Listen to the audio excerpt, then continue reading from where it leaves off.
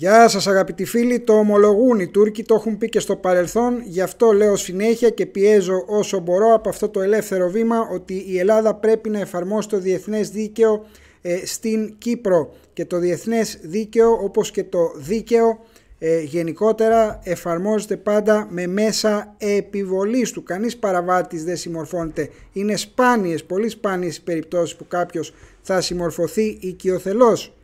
Τζιχάτ Αϊτζή, προκλητικότατος εμπνευστής του παρανόμου που διασαλεύει τη διεθνή ειρήνη αλλά και την τοπική ε, της δίθεν γαλάζιας πατρίδας ε, προκαλεί φυσικά ε, στην Κύπρο και υπενθυμίζει την παραδοχή Ετζεβίτ του αρχιτέκτονα και δημιουργού ε, τότε της εισβολής και πρωθυπουργού τότε της Τουρκίας η Τουρκία δεν θα εγκαταλείψει την Κύπρο ακόμα και αν δεν υπάρχει ούτε ένας Τούρκος στην Κύπρο. Αυτό πρέπει να το διαβάσουν και οι Τουρκοκύπροι, οι οποίοι στη δική τους πλειοψηφία είναι Έλληνες εξισλαμισθέντες κατά την Οθωμανοκρατία.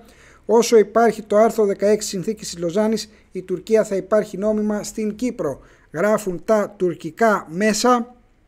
Ε, λοιπόν, να σας πω εγώ εδώ ότι στην πραγματικότητα με αυτή τη φράση που επαναλαμβάνει ο Γιαϊτζή ε, πριν ε, από αρκετό χρονικό διάστημα οι Τούρκοι έχουν επαναβεβαιώσει ότι ούτε ένα στρατιώτη δεν θα μετακινήσουν από τα κατεχόμενα. Φαίνεται ξεκάθαρα ότι ως πρόσχημα μόνο χρησιμοποίησαν τους Τουρκοκυπρίους για να εισβάλλουν. Ακολούθως τους έχουν μετατρέψει σε ασήμαντη μειονότητα. Θέλει μεγάλη προσοχή γιατί οι Τούρκοι θέλουν όλο το νησί.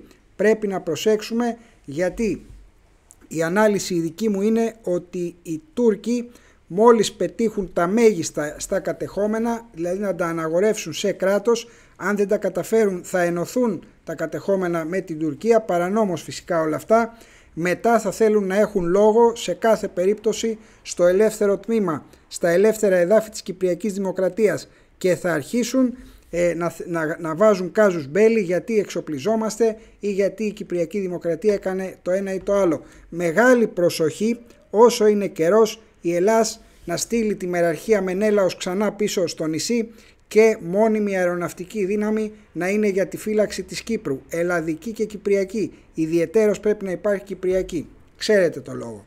Αυτά προς το παρόν. Αν σας άρεσε η εκπομπή κάντε like, εγγραφή στο κανάλι σας και κοινοποιήστε τη. Να είστε όλοι καλά αγαπητοί φίλοι. Γεια σας.